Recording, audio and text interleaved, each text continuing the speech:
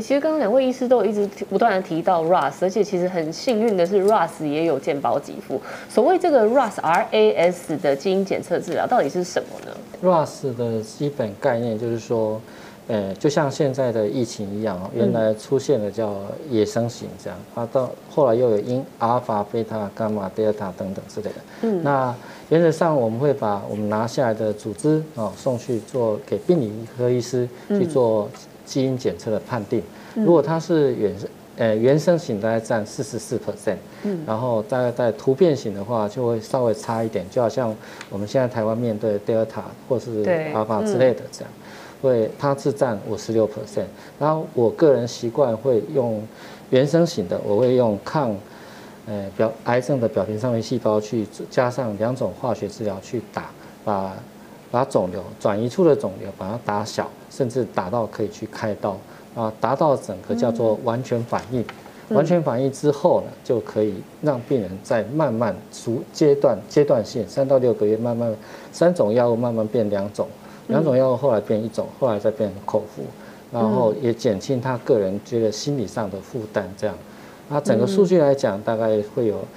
呃，我们收集了一百八十个病人，大概有十五。十五位病人哈，大概得到这个完全反应的一个一个情形这样子，所以有些病人哈，我们就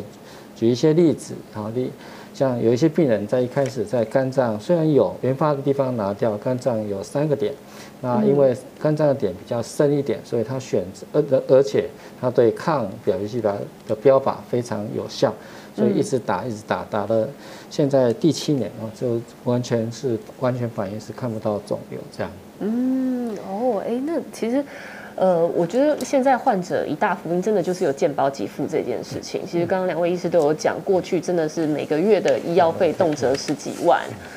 素金姐，你知道就是为什么我们到底是这整个争取国家健保给付的过程是什么？对，我觉得呢，其实我们健保大家都知道，健保的资源是有限的，对，所以健保的给付的前提是几个东西。第一个，它是有效的，对，嗯，对，就是你要证明你比原本的方法有效，所以我会给付。但第二个方法呢，如果呢，如果一样有效的话，你对病人比较好，比如说我可以减短他的住院日数啊，或者我可以缩短他的疗程啊，或者我让他的比较少。那对于 RAS 来讲，很简单，就是它是双赢的。怎么说呢？对患者来讲。我已经知道了，你到底是哪一种，有没有突变型的？刚刚我们周边医师有讲到一个很重要的事，我已经知道你比较厉害啊，我就要派跟对对抗你的先发投手是不一样的嘛。所以就是知道你就是依据癌细胞的特性，我们去选择药物，这样子让它可以最快最好的发挥它有效的东西。所以第一个对患者来讲，有效的医疗，然后对疾病有帮助。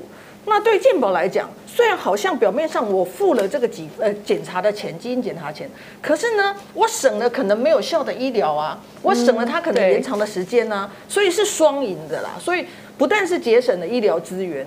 减少了减少了病患的经济负担，重点是你整个疗程是有效的，我觉得这非常非常的重要，所以这也是我们现在精准医疗他们在走的路，不论是精准的腹腔镜或精准的用药都是真的。哎，那所谓这个精准用药，就是每一个癌友都符合精准用药跟符合健保给付嘛？我们请钟诚医师告诉我们一下。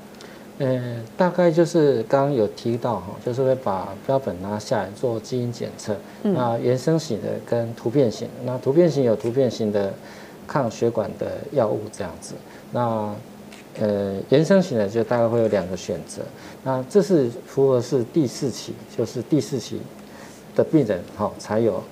呃标靶治疗。至于第三期的话，就是用呃两种的化学治疗去打。然后才会有刚刚的讲的结果，从三四十 percent 提升到六十八 percent，那几乎是到 approach 到七成这样子。